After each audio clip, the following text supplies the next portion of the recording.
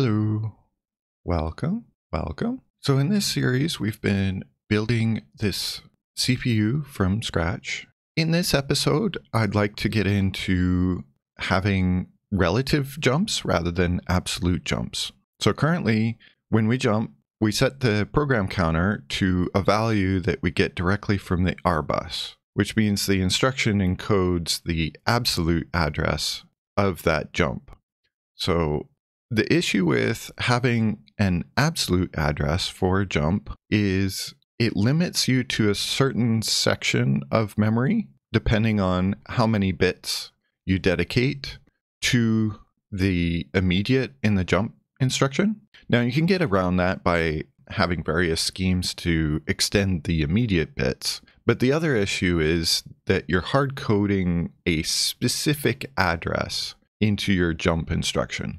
So then, if you move the code around, then your code breaks because it's hard coding a specific address and the destination is no longer where it used to be. So, relative jumps is generally how most CPUs get around that problem. And it allows you in a single instruction without having to extend the immediate with another instruction. It allows you to access more of a range of memory. So you can either jump forward or backward. So in this processor, we've got a 12 bit immediate for the jump instruction. So that allows us to move 11 bits worth of address either forward or backward. So either positive 11 bits. I don't even know what 11 bits are. Um, let's see, 2 to the 11. Uh, it allows you to jump either forward two kilobytes or two kilowords, really, in this processor, or backward two kilowords without having to extend the immediate. So that's quite useful.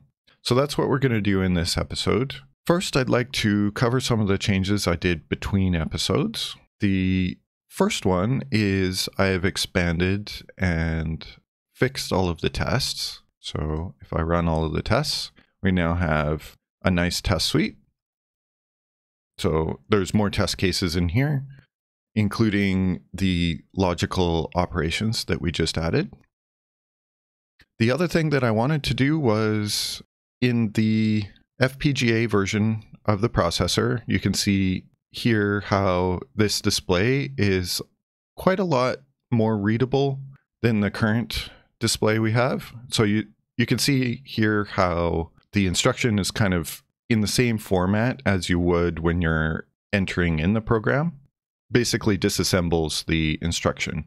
So I find this display a lot more intuitive. Plus, we've got what's happening in the execute unit here.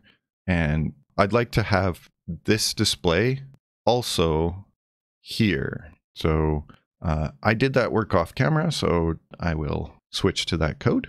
Okay, so this is what it now looks like. So you can see the disassembly of the instruction is right here.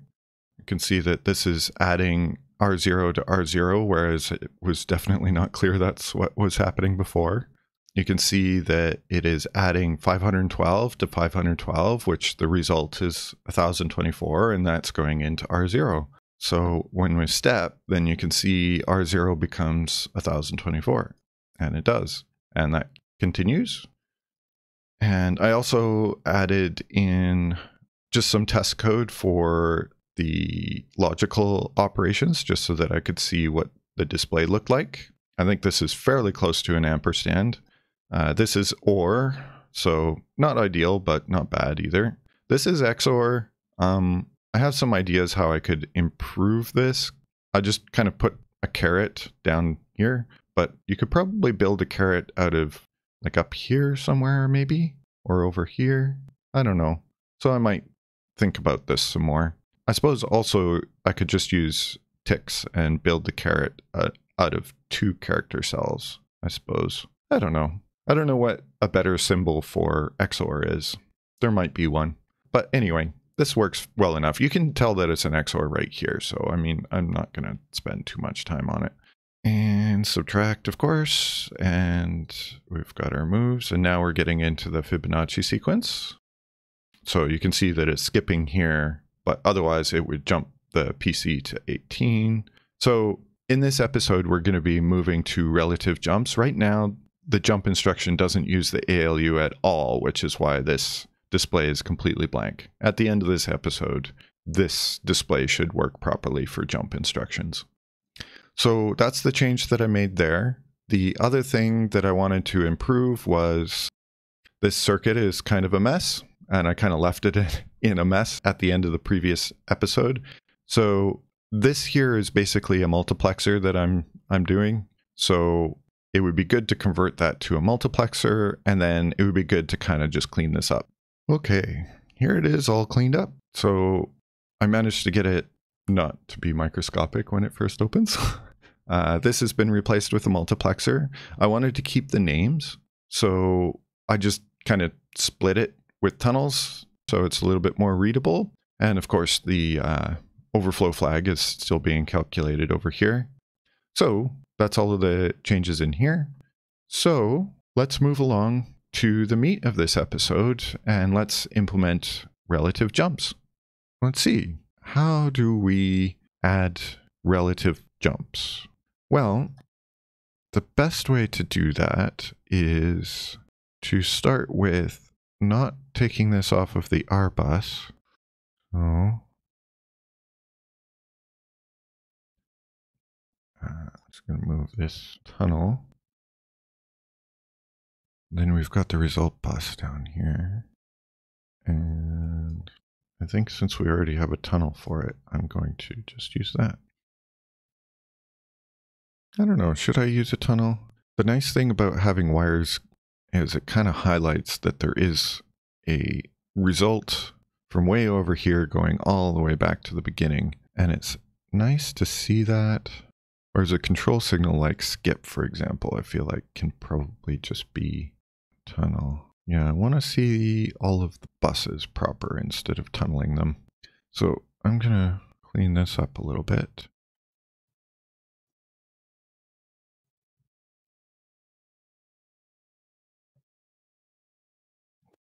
Hmm.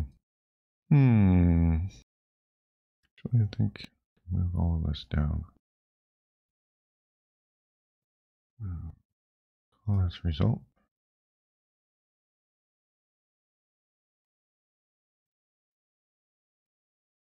Hmm. If I put it at the top.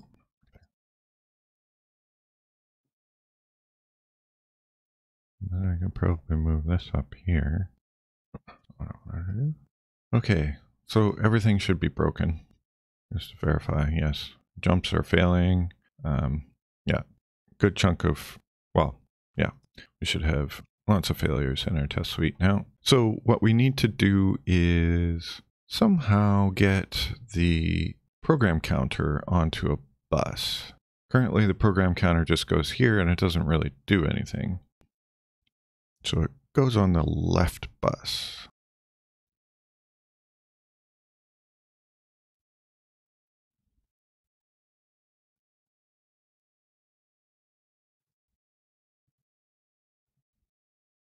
How do we know it's a jump?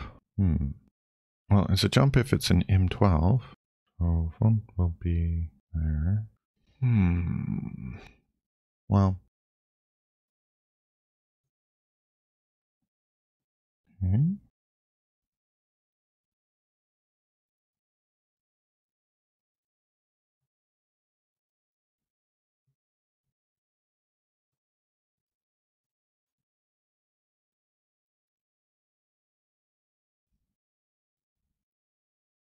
Hmm.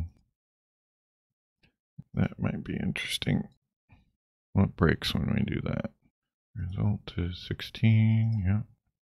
Move this. Yep. For now, I'm just gonna. Well, actually, I'm gonna not put that there. I will put it here though.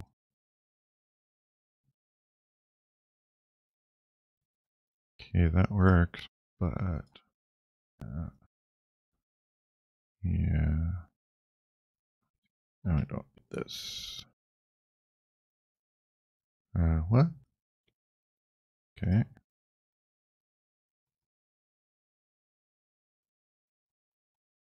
And of course, tons of things fail now, but that's to be expected. Uh, this all seems to work. Okay, great. Okay, so with relative jumps, what we need is a bit of microcode changes. And the other thing we need to do is change our CPU def. Okay, so microcode jumps are now additions. I think that's it. Then in our CPU def, jumps are now relative. So uh, I think it's something like that. And we've got some test cases to tell us if we got the order of these backwards. But let me think here. We want this to be positive if we're jumping forward. So value is, yeah, we do have it backwards. So value will be greater than PC. So we want this to be a positive number if we're jumping forward. And this is going to be interesting because this is not, hmm, this should be an absolute jump. Hmm. Well, this will be broken. I don't think I'm currently using this or even have a test for it. So I'm not going to worry about it right now. I'm just going to add a note. Uh, and that's not how you denote a comment here. Oops. All right. I believe that's what we need to do. Jump test, I think. Jump PC 9. So it's jumping to 10. Uh, so this is actually some negative number. Uh, okay. Uh-oh, I got an error. Okay, that's not working correctly. Probably we have an off by one error, is my guess. And most likely it's right here. Because PC is one ahead of what it should be, and it might actually be a minus two.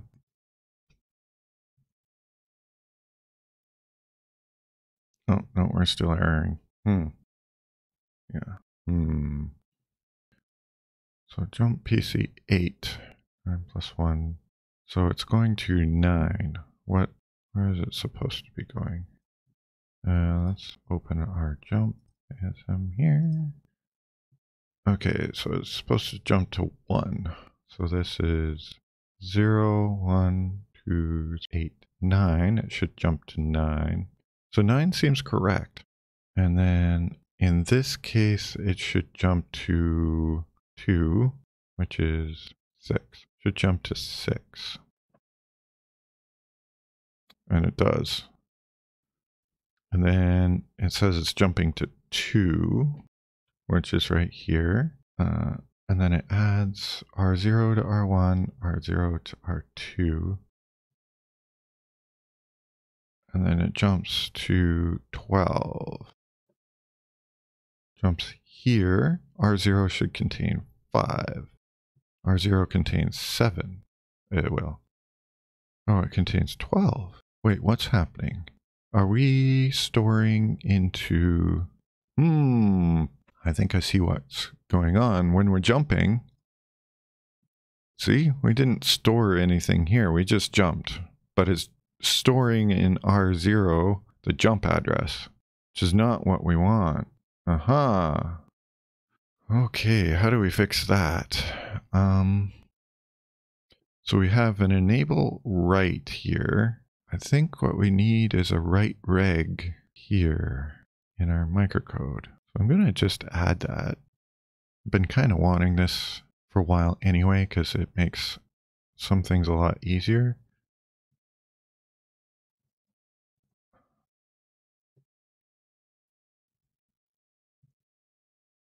We need to add it in here, I think.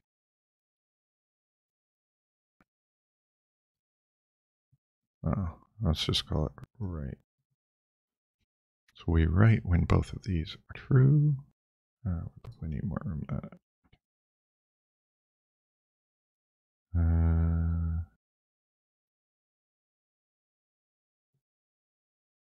And not quite. Can do that, and I'll do this.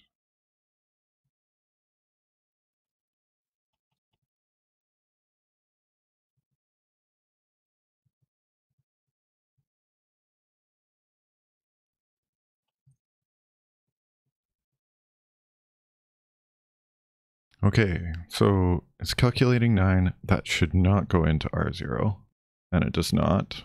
Uh, moving 3 into R1 should modify R1, and it does. Okay, we are modifying R0, so that's good. And we're jumping to 12. There, 5. We skip the error now, and we help. Awesome. Okay. Uh, unfortunately, I can't run the test suite without updating all of the tests, and that is a bit of a chore. But I think that's it for this episode. One nice thing about now having a register write is in the execute unit, we have this path right here. Well, that's for move. We have this right here for doing nothing. And I don't believe we need that anymore since we can just not write the result in that case. So we have an ALU op for compare that will now just go away because we just don't write. And in the case of a no op, we don't write either. So these two go away, freeing up some ALU ops for, I don't know, something. So we'll have two spare ALU ops from this. There's a bunch of different simplifications that can be done. I'm not going to do those on camera. I will probably do those between episodes to simplify things. Actually, our Fibonacci program should run again. Uh, it. Awesome. Yep. Cool. So, thank you very much for watching. I hope you have a great day. Bye.